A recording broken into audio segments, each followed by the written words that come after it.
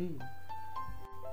is fat, lazy, smart, patient, a good man of men who loves cooking, eating, and reading, who is afraid of skydiving, window shopping, and the war of the world.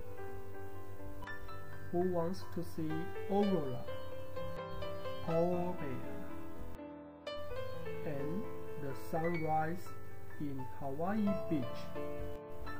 Resident of Country Boys. This is Dean.